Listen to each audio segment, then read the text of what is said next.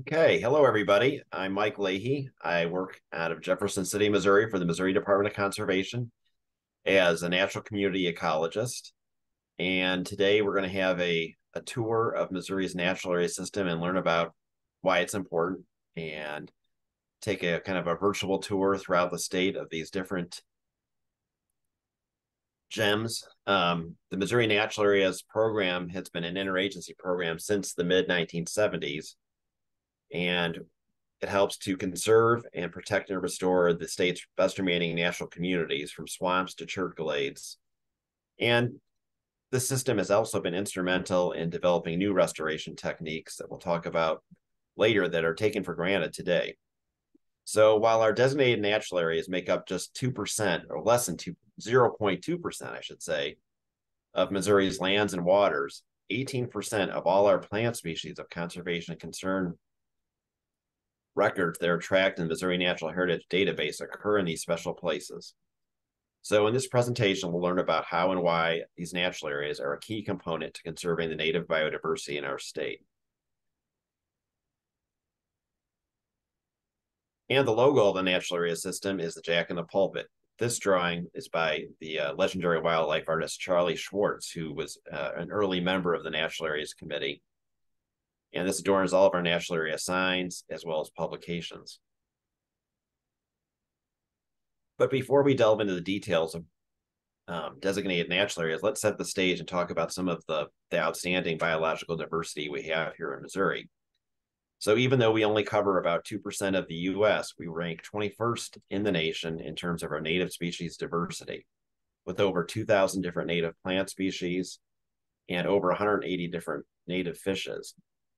And a lot of these species we know very little about. Um, you know, some species like deer and turkey, uh, largemouth bass, we know quite a bit about their life histories, but a lot of other species we know very little about. And so the best way that conservation biologists have come up with to conserve all these different species is to manage their habitats or their natural communities that they depend on for survival.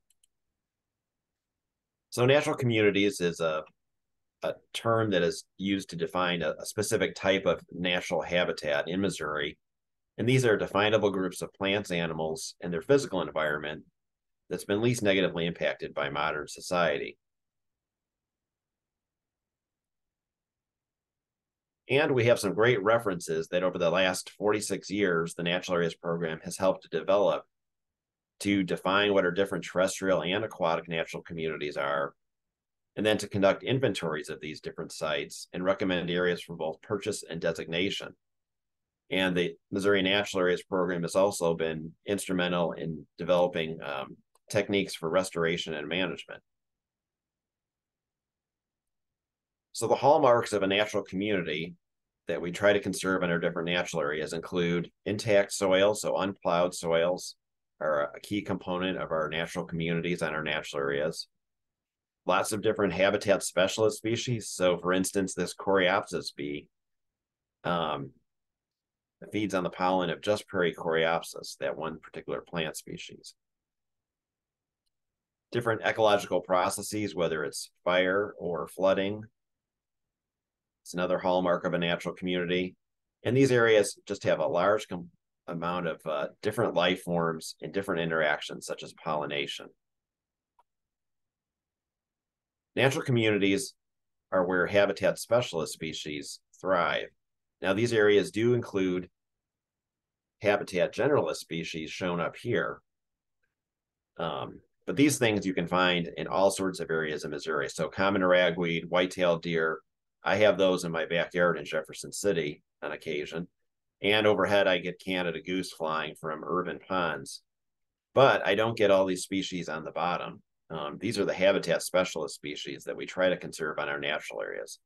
That includes many different orchid species, um, rare or declining insect species such as the regal fritillary, and other interesting species like the northern crawfish frog and Niangua darter.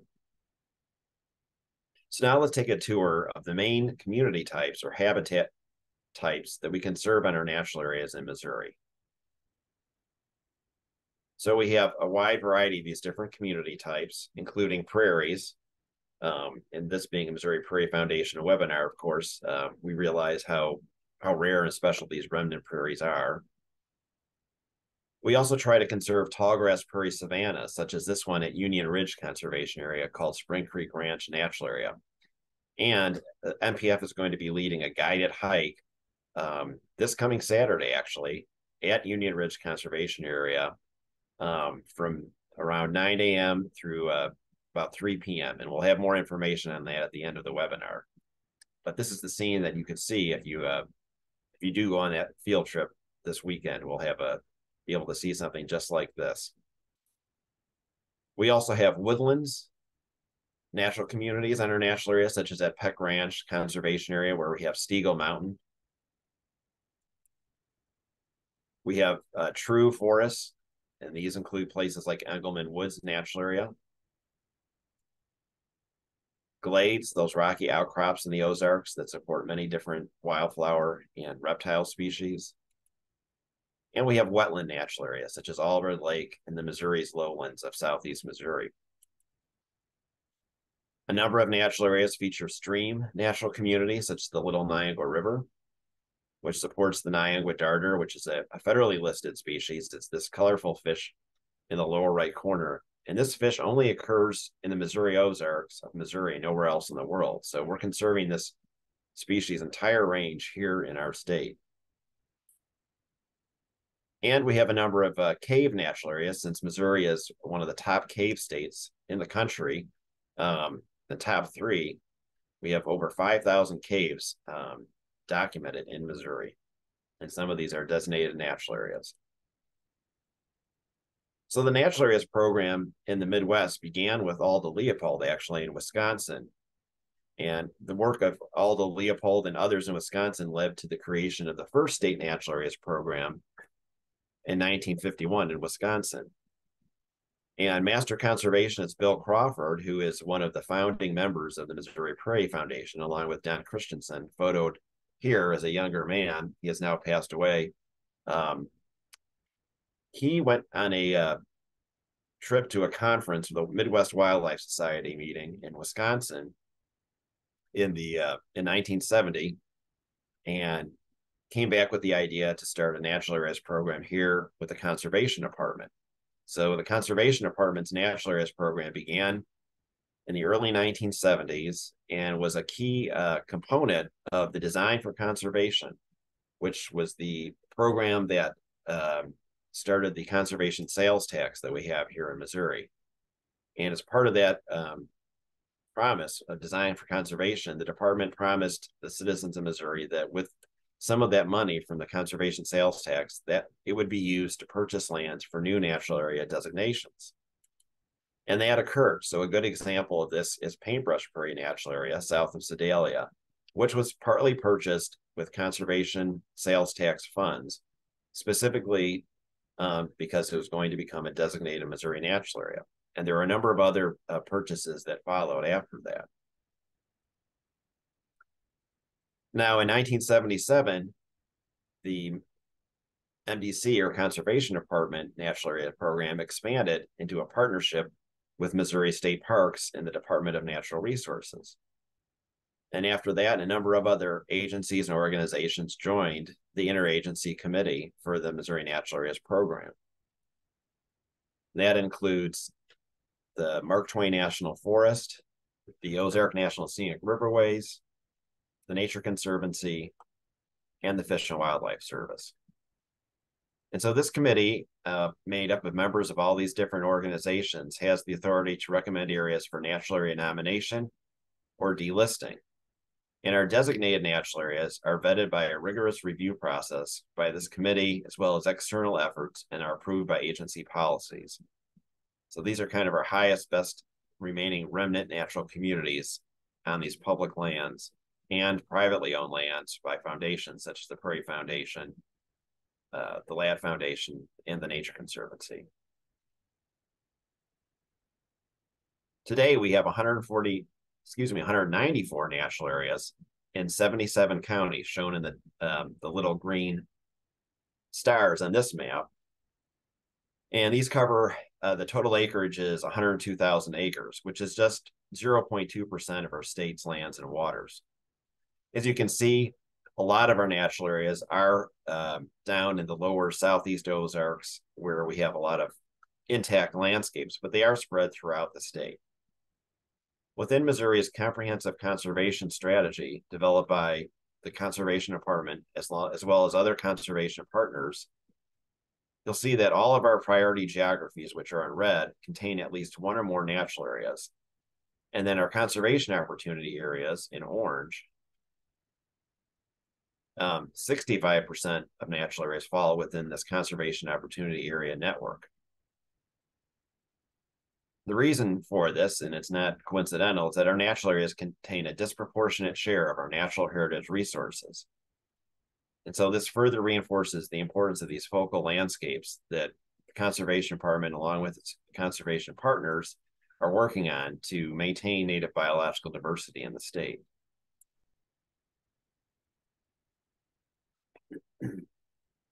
So designated natural areas have many values, for conserving biological diversity, as well as outdoor recreational values and scientific values.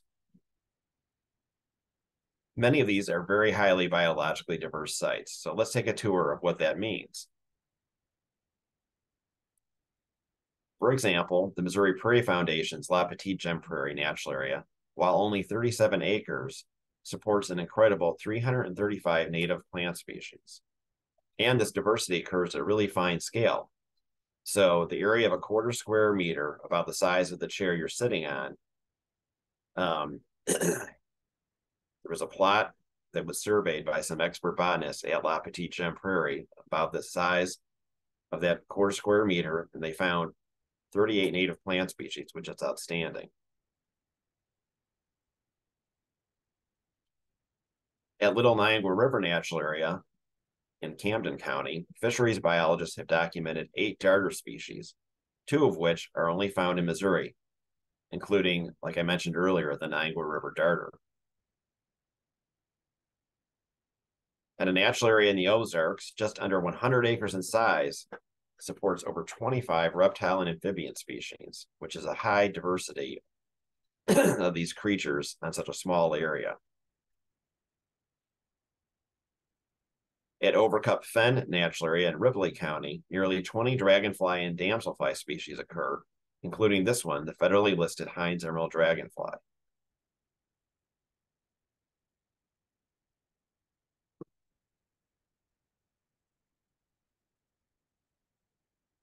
At larger scales, some natural areas, such as the Sunklands Natural Area, conserve a wide diversity of natural community types. So this is an aerial photo of the Sunklands Natural Area, which is north and west of Eminence, Missouri, in Shannon County. And in the slide, you can kind of see a general upland forest, but also in the middle of this is a giant sinkhole basin that has um, a sinkhole pond marsh and a variety of other sinkhole communities. This large natural area supports over 20 different natural community types, from dry desert-like glades to these marshes um, in the middle of the basin.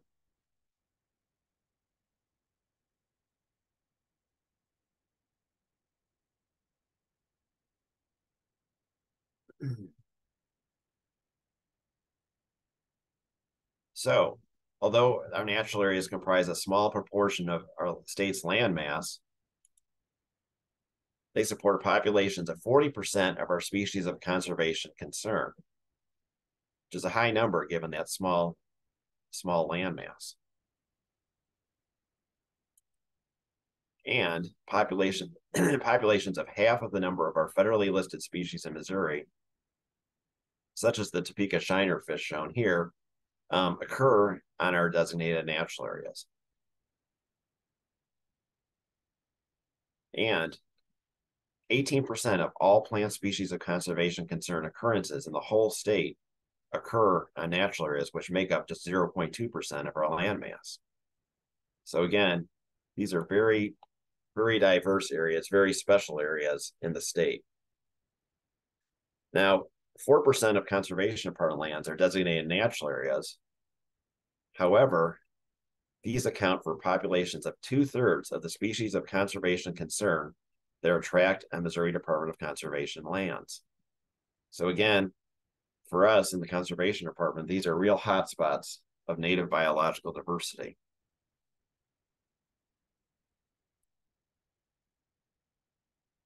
Now, one of the things that we've learned over the past 46 years of the Natural Areas program is that a lot of our natural communities require more than just um, protection. So you can't just buy a prairie or a glade and walk away because it will turn into a non-diverse uh, cedar or brush thicket.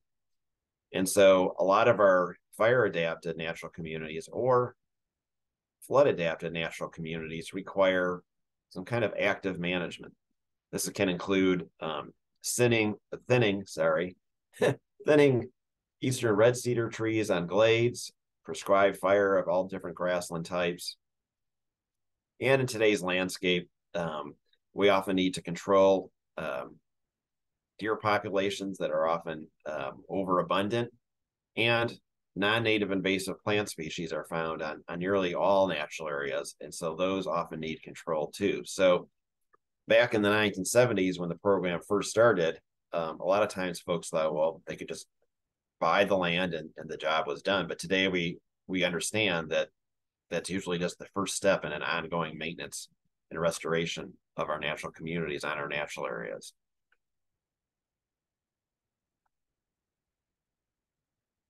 some of the first, well, actually the first glade restoration project um, that occurred in Missouri occurred at Caney Mountain Natural Area, which is um, Caney Mountain Conservation Area. And Caney Mountain is an interesting area. It was purchased by the Conservation Department back in the 1940s as a wild turkey refuge. And one of Aldo Leopold's sons, Starker Leopold, actually did his graduate work on that native turkey population there. Um, and he stayed in a cabin that was on the conservation area, which is still there today, which is kind of a neat place to visit. Um, and then the work based on his work with the turkey population was used um, to reintroduce turkeys uh, and maintain their habitat throughout the state. One of those tools that they looked at um, in the 70s and 80s was restoring glade areas for turkey brood habitat. So here we see a cedar encroached glade um, before treatment. Cedars were cut. There was a first prescribed burn, then a second prescribed burn. And of course, after years of, of prescribed fire and ongoing cedar thinning, um, we have the Caney Mountain natural area of more recent years, which is one of our outstanding natural areas in the state, which is a mix of glades, forests, woodlands, caves and springs. And some of the first prairie burns um, occurred on, on Missouri natural areas. Tom Toney, who is um, the Missouri Department of Conservation's prairie biologist and worked closely with Missouri Prairie Foundation, um, did some of the first burns on prairies in the late 70s and early 80s on natural areas such as Osage Prairie. Prior to that, um, the prairies were just maintained via haying. The first uh, conservation department woodland burns occurred at Stegall Mountain Natural Area at Peck Ranch. And this slide uh, series shows um, the before and after eight prescribed burns in 24 years. And you can see how the native plant diversity and cover decidedly increased with the restoration work on this natural area. However, at the time, burning in the woods was quite controversial with conservation department foresters.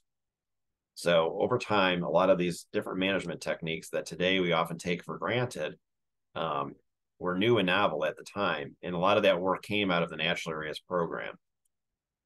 So here's that same scene. If you go back and pay attention to this tree here in the middle, you'll see it's still there in that photo 24 years later. And you can see the difference in this woodland community that's been restored.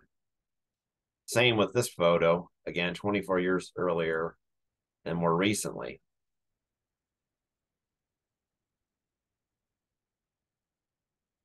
Another thing that scientists found out with the restor restoration of the glades and woodlands at Stegall Mountain Natural Area, this was work that was done by Alan Templeton from Washington University in St. Louis.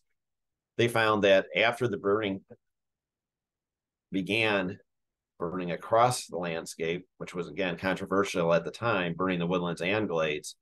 The eastern collared lizard population, this really charismatic reptile here, exponentially the population and its inhabitants of the glades exponentially increased after they began that uh, landscape level burn of a woodland glade complex. And again, this was um, in the late 90s. This was a very controversial management technique, but the science bore out that it was really important to restore these uh, rare lizards.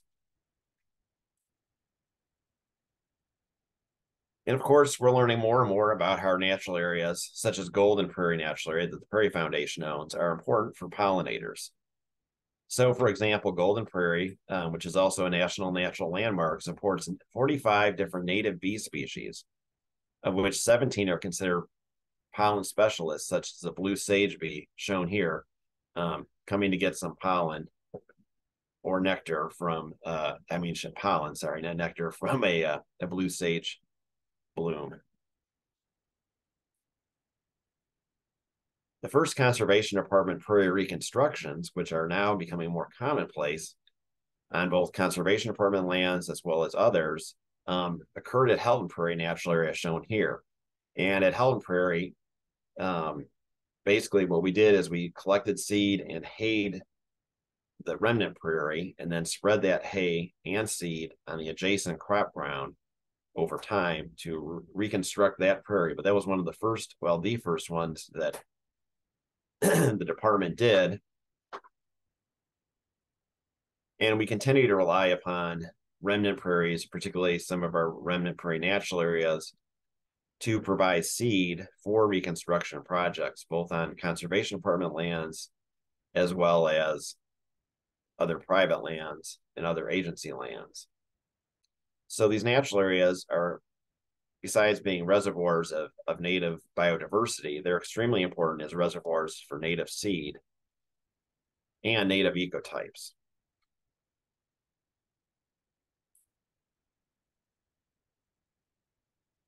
There are also anchor points for our priority geography. So, for example, um, shown here is the Missouri River Hills priority geography, which is um, basically lies between uh, Fulton, Missouri, and Warrenton, Missouri, south of Interstate 70 and the rugged river hills before the Missouri River. Um, two natural areas, one at Daniel Boone Conservation Area and one at Danville, are really the strongholds for both seed sources for restoration in this geography as well as um, models of natural communities that we're trying to restore on both other private and public lands in this geography.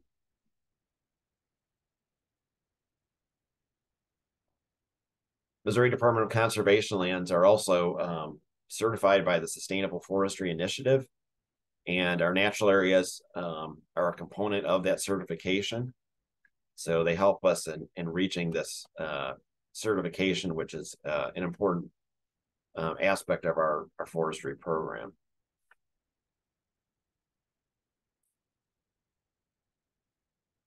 Because of all these reasons, um, within the conservation department, our natural areas are considered in the top tier or tier one of our nat- of our approach to habitat management. Now, these larger red blobs here, those are the priority geographies, but then the smaller red areas are the natural areas. And then, of course, you can't see since it's all red. The natural areas within these priority geographies um, are masked by the, the duplicate color, but our natural areas are in the same priority as these priority geographies. What we'll do now is we'll take a, a neat tour and take a look at some different natural areas across the state. Um, we'll start in the Springfield Plateau, north and of Springfield, Missouri. And here we see a 25 mile prairie natural area, which is a conservation department natural area. And this is a remnant prairie, which in it of itself is very rare, but this remnant prairie is um, on soils that are from limestone and weathered from limestone, which is even more rare because most of these limestone prairies have been plowed for agriculture since the, the soils are, are very fertile. So this particular natural area features many interesting calcium-loving plants such as prairie turnip and prairie iris, and supports as well a good population of the uh, regal fritillary butterfly, a species of conservation concern. Now moving to the Western Ozarks, we have Ha-Ha-Tonka Woodland Natural Area, which conserves a wide variety of Ozark natural communities from caves and springs to glades and even a mesic forest in a sinkhole basin. This area was instrumental in introducing the concept of woodland prescribed fires. The first woodland prescribed fire trials in Missouri were conducted here by state park staff in 1983. Since then, in all those years of restoration, this has become one of the premier spots in the state to see both woodland and glade natural communities. And 492 plant species have been documented on the nearly 3,000 acre natural area seen here. the area also contains glades, such as in this photo, and many interesting old growth cedars, um, such as one shown here. Now move down to the lower Ozarks near Ava, Missouri. And here we see Ava Glades Natural Area on the Mark Twain National Forest. This contains the largest dolomite glades in Missouri. So these are shallow soil grasslands. Some have called them xeric grasslands. And down there, the glades are very large. They cover whole ridge tops. The glades there even include north and east facing slopes, which is unusual.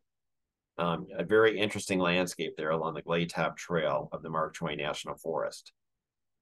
And these include a number of species with more southwestern affinities, such as the greater roadrunner and uh, a plant shown here, which is a species of conservation concern. But again, this species is more common to the south and west of Missouri.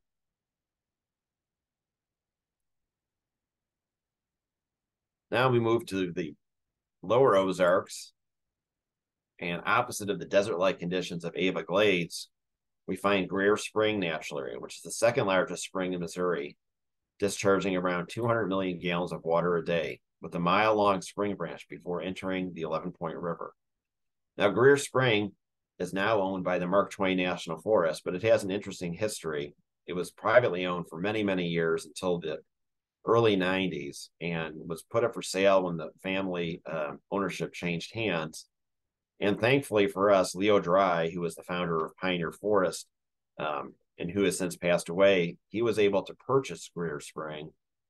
And then later, um, the Forest Service was able to acquire it from Pioneer Forest, Leo Drey, um, and was able to protect this really fascinating and wonderful place. This is my favorite spring in Missouri. It's very undeveloped. Um, you have to hike in to get to the spring, and um, it features just a, a, really neat cave entrance where the spring comes out, and then a second large boiling water spring in the middle of the spring branch. So a very unique place. And this supports um, over a dozen species of conservation concern that depend on these, uh, well, depends on this cool microenvironment that we see here.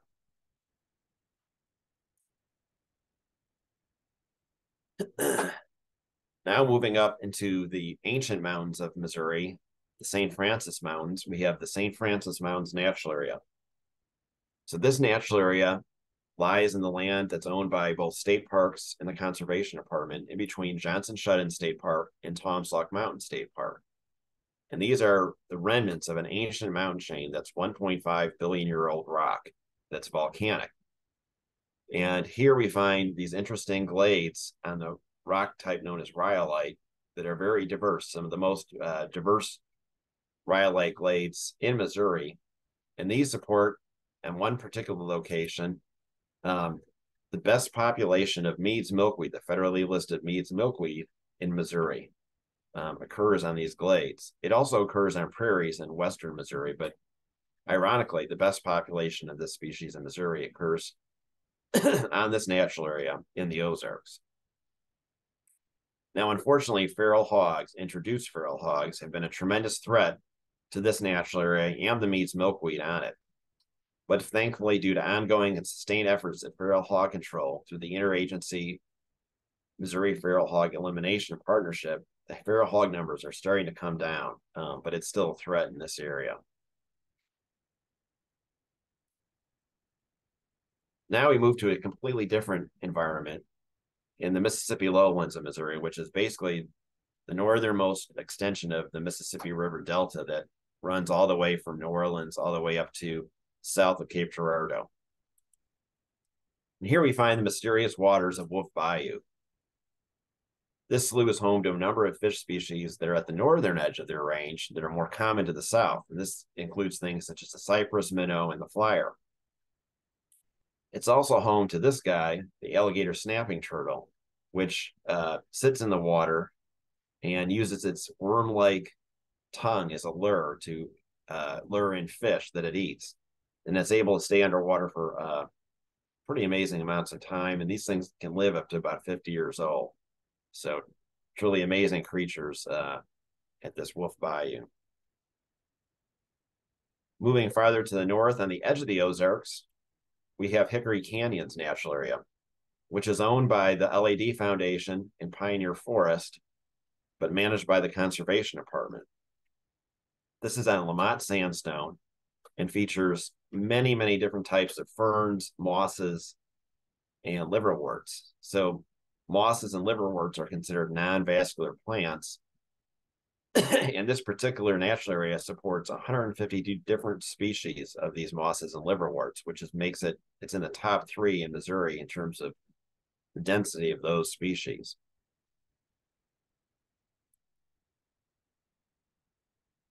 Moving underground, we have some different natural areas that are caves. So Mossy Spring Cave is one that uh, includes a half mile cave passage which, and a cave stream. Now, this particular cave um, was not very well known about. And so its uh, cave formations shown in the picture here on the right, such as these um, stalactites and stalagmites, are in very good shape. They were not, there was not much vandalism. This cave is now gated with a, a bat friendly and airflow friendly gate to keep um, potential vandals out. Um, and yet allow animals and water to move in and out through the cave entrance. Moving into the river hills, we have Weldon Spring Hollow, which is not that far outside of the St. Louis metropolitan area in the steep river hills of St. Charles County. And here we have some tremendously large trees and a, a, a wonderful uh, spring wildflower display of uh, trilliums and ferns. These trees are really big. The conservation department employee in this picture next to this bitternut hickory is six foot five. So he's a big guy, and that's a big tree, which they have a lot of at the Weldon Spring Hollow Natural Area. Moving up into the north part of Missouri, the glaciated plains, we have Lowry Marsh, which is a native remnant marsh. The uh, iris, the native blue flag iris you see here, growing amongst the bulrushes and smartweeds um, is is not that common and uh, requires a, a, decent marsh community to grow. This particular marsh um, supports six plant species of conservation concern and a population of the northern leopard frog, which the northern leopard frog is common in Iowa and to the north, but it, it its southern edge of its range is here down in North Missouri. Unfortunately, the hydrology of the marsh has been impacted by ditching and drainage on adjacent lands to the east, so it doesn't get as much water as it used to. And unfortunately, all of our marshes in Missouri um, have been impacted to some degree by changing in flood regimes or drainage projects. So this one is is less impacted than most and is a, a real prize gem um, since so few marshes uh, remain in Missouri. moving to the far northwest corner of the state, up in Atchison County, we have some really steep bluffs above the Missouri River floodplain. Here we find loess soil, which is windblown soil that was deposited after the last glaciation. And these loess soils are on very steep slopes that face west. And so they're very arid conditions. And what this does is supports a prairie community that's more common 100 miles to the west of Missouri. So this is more of a mixed grass and short grass prairie disjunct growing here in Missouri. This includes um, western species that the next place you can find them is 100 miles to the west in Kansas and Nebraska, such as loco weed, shown here, and uh, soap tree, or see, I guess soap, soapweed, not soap tree, soapweed yucca.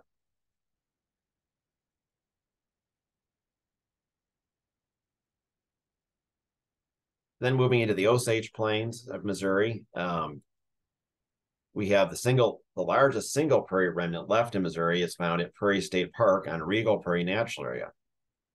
And this 3,500 acre prairie supports over a dozen species of conservation concern. And it's a very good place to see northern harriers and shorter short-eared owls in the wintertime. And it just has a really interesting landscape perspective. Um, one of the few places in Missouri where you can see a, a very large prairie remnant, as you can see here.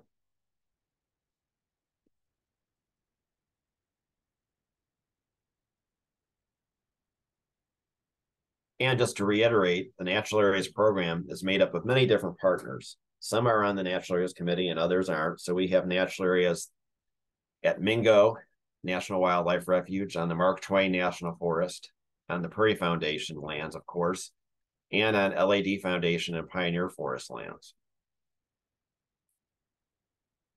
Natural areas are often uh, important sites for scientific studies, especially to research rare and imperiled species, and also to establish um, what are the benchmarks and baseline conditions for natural communities that we want to restore on more degraded sites. And most natural areas, except for cave natural areas, are open to the public. And so, depending on the agency or organization that owns the natural area, different outdoor pursuits are allowed. So on conservation department lands, many of our natural areas are open to hunting and fishing, um, which is different than state park natural areas. But all natural areas are open to foot traffic, bird watching, uh, nature photography, and nature study.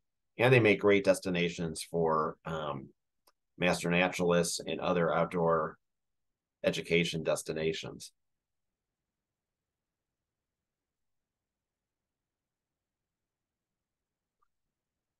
Now, if you want to learn more about our natural area system and go visit it, um, a good place to start is just to Google Missouri natural areas, which will take you to the natural areas page on the Missouri Department of Conservation's website. And here, um, there is a map that has Missouri counties and locations of the natural areas, as well as an alphabetical listing of the natural areas by county and you can click on those and find out um, information about the different natural areas, what to expect, um, what features are protected on the site, and driving directions.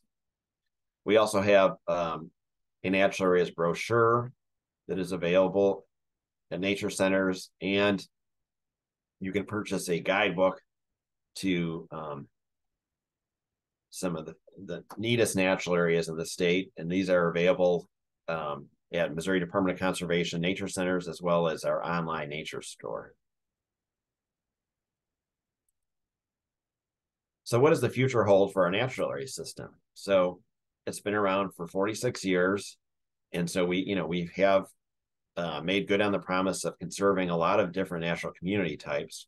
We recently uh, finished a gap analysis of our terrestrial natural communities conserved in a designated natural areas and are just in the process of doing an aquatic natural areas, I mean, natural communities gap analysis to see which community types are represented and which aren't represented on the natural area system. And so with, with that knowledge, we can go ahead and, and look at different community types that we need to either acquire or restore um, to complete the natural area system. Of course, the work of a natural area managers is is um, ongoing because we have the constant threat of invasive non-native species as well as invasive native species like eastern red cedar.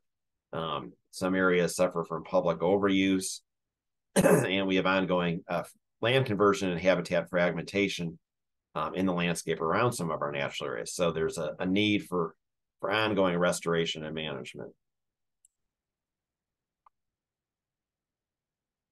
And so, just to reiterate, the goal of the program is to inventory, protect, manage, and restore high quality natural communities and geologic features for public benefit through this system of dedicated Missouri natural areas.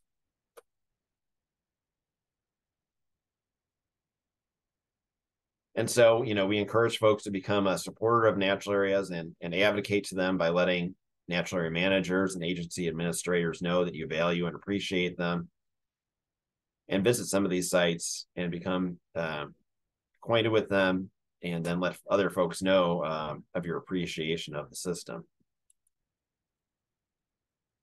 Of course, lots of good photographers out there helped with this uh, presentation. And then at this point, I'll open it up to, to questions and then let's see uh, what we have in the chat.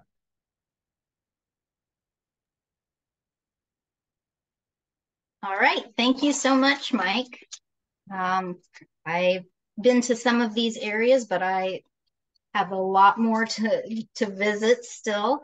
Um, we do have a few questions coming in. Uh, I did want to just quickly mention again that you will be hosting a hike at Union Ridge Conservation Area this Saturday. And I believe that's from 10 to 3 and that's near Kirksville. What can people expect to see on that tour? So we'll see all sorts of different um, tall grass, prairie, and savanna species. We should probably be able to see uh, blooming cream gentian, which is more of a North Missouri species. Lots of different um, sunflowers and asters and goldenrods in bloom. Lots of uh, we'll probably see some monarchs. Lots of other insects. Um, we might see some migrating birds if we're lucky. Um, there's warblers moving through as well as um, sparrows and wrens. Um, and then they'll kind of have some nice, basically looks of kind of a tall grass savanna landscape, really nice um, overviews of uh, a really scenic landscape. And of course, the native warm season grasses right now are are very scenic as well. So um, in a nutshell, that's that'll be what we'll be seeing. Great, thank you. Um, we did have a question from Jack, and and I was wondering um, also, since you have so much experience with these natural areas, um, do you have a favorite that is close to um, St. Louis? There's, oh gosh, it's hard to narrow, it down. Huh? Close to St. Louis, I would say um, LaBarque Creek natural area um, would be a favorite, and that LaBarque Creek natural area can be accessed two ways. One is through LaBarque Creek Conservation Area, which is on the, I have to remember right, north side, includes the north side and natural. The natural area is shared by Missouri Department of Conservation and Missouri State Park. So there's a Don Robinson State Park that the natural area is on to the south. And then the natural area also occurs on LaBarque Creek Conservation Area to the north. And they both have hiking trails. And, and so those those are really neat um, natural areas that are you can really feel kind of a sense of wild right there, not not far outside of St. Louis. It's Jefferson County, but it's the very north end of Jefferson County, Missouri. So it's close to most most of St. Louis. Okay, great. Thank you. Uh, Karen, and I can see some of these. Like I could see, like Karen Cox said, "How far is a hike into Greer yeah. Spring?" Yeah, I think it's a two miles in and two miles back, or one and a half mile. It's not very far.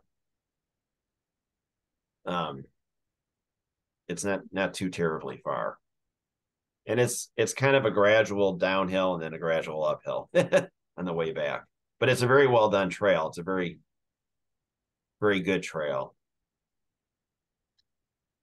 wondered um, if these are all marked. Are they marked, or do you just have to know about them? The, all the, the, the ones we've covered so far are all marked. Okay. Now, some of them, the ones in you know, if you look at the information on the the natural areas directory online, um, it'll tell you, you know, if there's a you know established trail or if it's just here it is. It's some areas don't have, you know, it's just a parking lot and that's it. And others have, you know, hiking trails, but they're all marked with a natural area sign. um, in Camden County, the, the best place to start with the natural area would be the one at Ha Ha Tonka State Park, which is outstanding. And the number of natural areas has been um, slowly increasing, but you know we're kind of coming to a plateau because there's not we're not making a lot of new natural areas out there. Um, but uh, fortunately, we haven't had we have had to delist some natural areas that were destroyed by um, excessive sedimentation and wetland um, issues that you know beyond our control. But fortunately, that hasn't been most natural areas that were designated have stayed natural areas. And then yes, Highway six we learned is closed west of Kirksville, and we have alternate directions. If you sign up for the hike, um, Haley has provided all the registrants with the new directions on how to get to to Union Ridge. In terms of drought, um, if you Google the uh, U.S. Drought Monitor, you can see a great map that shows you all the counties in Missouri and what their um, drought status is. And, and definitely, yeah, there's a band from Kansas City all the way here to Jefferson City through central Missouri that um, is very dry. The Ozarks, south of Springfield, Missouri, there's a band that's been pretty average um, in precipitation. So not everywhere in the state is in drought, which is good. Um, how much revenue does the tax support the natural areas? I would have to do research on that.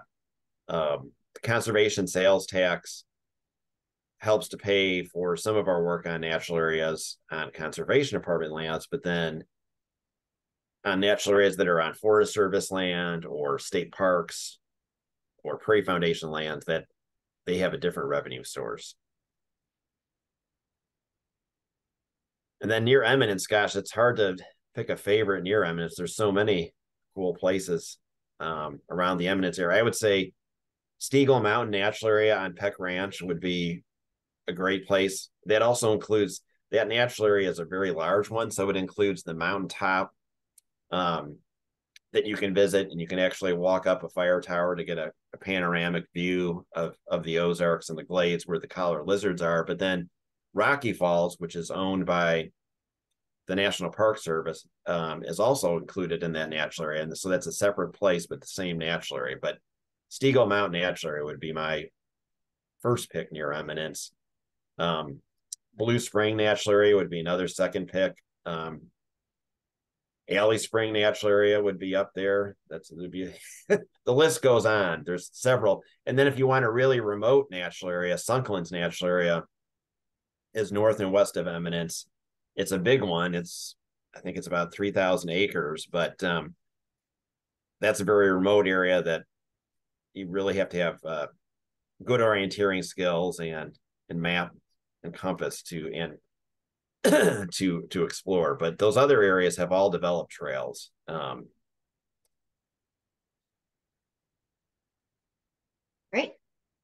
And let's see, I think we had another question come through the chat. Um, what terrestrial systems are underrepresented, do you think? So we don't have a um, a natural area uh, that um, represents our sand prairies or sand savannas. and so that's one that we're looking at possibly um, since the Prairie Foundation's recently purchased two sand prairie savanna areas. There's that, and there's also a a sand prairie um, remnant in northeast Missouri um, on uh, Frost Island Conservation Area that we're also looking at. But those sand communities have been underrepresented in terms of uh, terrestrial community types, as well as um, marshes and fens, some of those wetland types. All right, thank you so much. I think I'm just quickly going back through and I think that I've I've gotten to we've gotten through all of those questions, so that's great. Mm. And so at this time, I think we'll go ahead and wrap things up. I really appreciate Mike uh, you taking the time to share this information on natural areas. We have a lot of places to discover still, right? so oh, yeah, I for sure. I hope everyone is able to get out, out and, and check out some of these great places. Um, as mentioned before, the webinar will be is being recorded and the email will be sent to you tomorrow with the webinar link and other helpful resources. And if you enjoyed this presentation, we hope that you will join us for our next Missouri Prairie Foundation webinar on September 27th. It is Take a Virtual Hike on the Prairie Fall Edition with Bruce Schuette. So again, thank you all so much for joining us and for to Mike for his great presentation. And I hope you all have a great evening. Great. Thank you. Thank you.